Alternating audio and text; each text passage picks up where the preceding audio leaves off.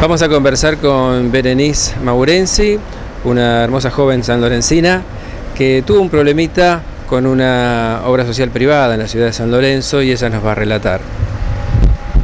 Eh, bueno, sí, me quise asociar, me quise asociar a Esencial. Eh, estaba todo bien hasta la hora de llenar los datos y las enfermedades que uno tiene, las complicaciones de salud que puede llegar a tener.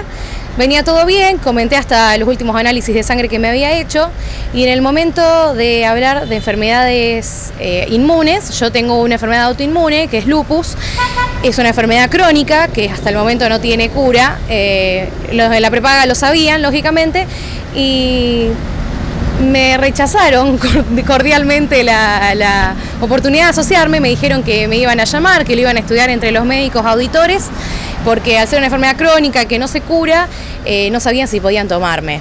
Eh, la verdad que me angustié mucho porque uno encima es sincero y comenta lo que tiene esperando que la prepaga se solidarice con uno, diciendo, bueno, tenés este problema, te, podemos mejorar las condiciones. Me dijeron que quizás me podían tomar eh, si me aumentaban la cuota mensual, que tiene un montón de facilidades, digamos, que se puede pagar por débito, por crédito, las facilidades estaban, las comodidades estaban.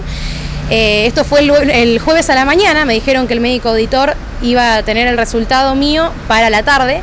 A la tarde no me llamaron, el viernes todo el día esperé tampoco y lo que va de la mañana de hoy tampoco. Eh, así que no sé si me van a llamar o no. Lo que uno se, angustia y piensa que, que no está nada bueno es que uno que encima que es sincero y le dice la, realidad de las cosas a la prepaga, eh, te lo rechazan, cordialmente te lo rechazan. Eh, Berenice, además estamos hablando de una obra social privada con una cuota que no es barata, para nada, es una de las principales y más caras obras sociales privadas. Pero antes de esta situación, vos ya habías sido asesorada por ellos y todo el tiempo intentaron venderte el servicio para que entres como cliente, pero el problema fue cuando fuiste sincera y anotaste todas las problemáticas de, salud que tengas y ahí detectaron algo que iba a ser costoso para ellos.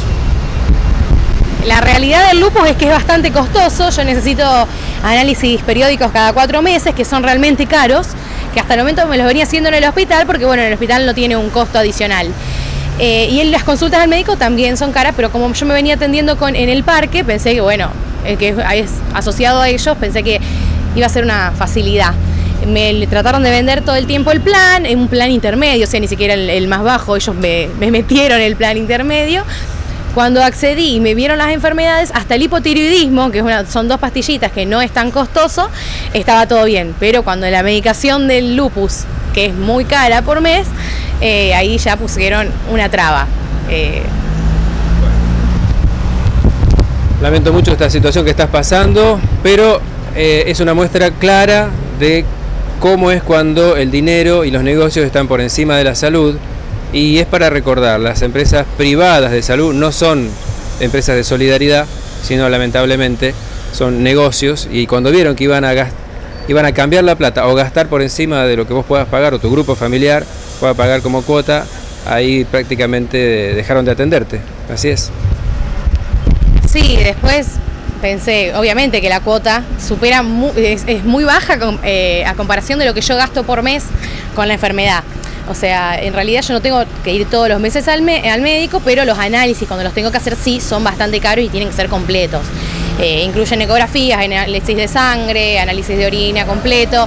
Eh, quizás para un laboratorio privado es mucho más caro que, que hacerlo en el hospital como lo venía haciendo y es algo que por lo visto no quieren pagar.